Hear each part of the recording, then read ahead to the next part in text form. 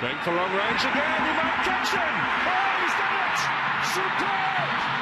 Unbelievable stuff from Hlompho Kekana. Wayne Sandilands caught off his line. Two strokes of genius. Unbelievable. Pure greatness.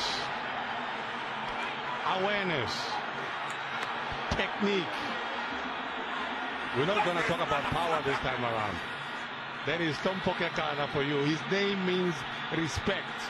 Respect him. If you thought what he did against Cameroon was a fluke, no, it wasn't.